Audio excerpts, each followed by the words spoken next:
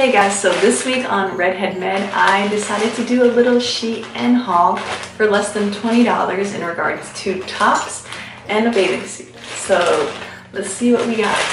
Right here, I have this um, tie piece that I got for, I think it was $4, I think. So let's try it on.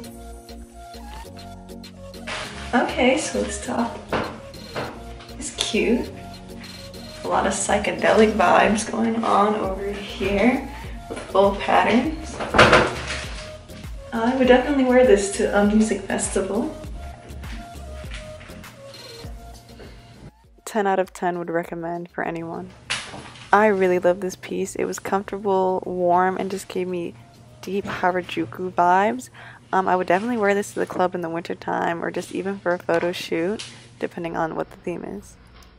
So this piece was like $2, but I ended up using it in a photo shoot, which I have some of the images coming up.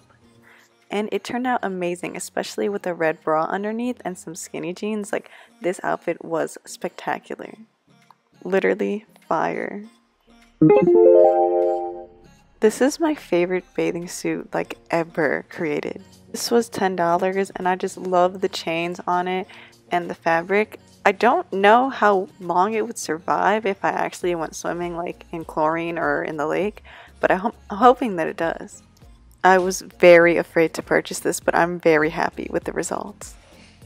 Overall, I will say that I love every single shirt that I bought. Um, I think my favorite piece though is the bathing suit just because I was not expecting it to look that good and to actually be of like decent quality, um, especially the chains. Like they're like withholding everything that needs to be held, especially on the bottom right here, because I was assuming, because this is a small, I was assuming that it might break. So I am now a huge fan of this company. I loved everything that I bought.